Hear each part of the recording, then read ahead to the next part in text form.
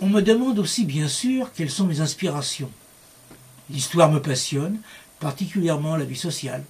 J'aime dépeindre les traits de caractère de mes personnages et faire vivre à des gens ordinaires des situations extraordinaires vraisemblables, tout comme les situer dans leur vie laborieuse de tous les jours. Écrire, c'est aussi pour moi découvrir et apprendre. Les recherches prennent aussi bien du temps et sont toujours un régal.